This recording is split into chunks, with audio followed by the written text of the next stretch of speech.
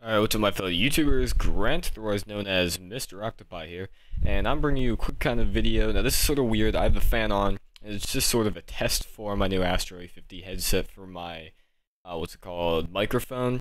Now I'm sure the microphone works fine over to the Xbox 360 controller, but for some reason, through the USB on the mix amp, which is used to power it, it also outputs my voice.